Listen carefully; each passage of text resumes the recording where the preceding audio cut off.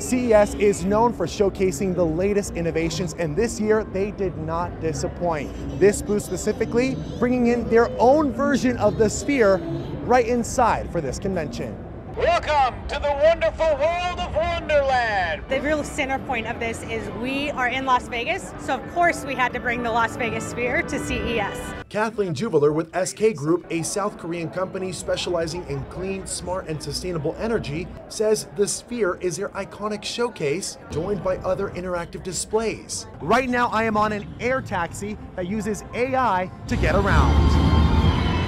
I also had the chance to take a ride in a hydrogen powered train. This year, AI is a very big part of CES. Let me show you guys an example. This is an AI Zoltar. You've probably seen this at many carnivals where we have this, what looks like a mannequin inside of a box. Now they're using AI to do the exact same thing and to generate a photo of yourself using AI. Such a handsome dude we have our own tarot card. Mike Johns spends a good portion of his time here in the Valley. He says we need to bring in more tech to Las Vegas. We need to now really start to get into being able to apply a lot of these technologies that you see here and let it resonate with the city so that Vegas can be at the premier front of the next Silicon Valley. I also wanted to showcase some items designed to improve your quality of life. What you're looking at here is LG's latest release. It is the world's first 4K transparent television, and you can purchase it by the second half of this year.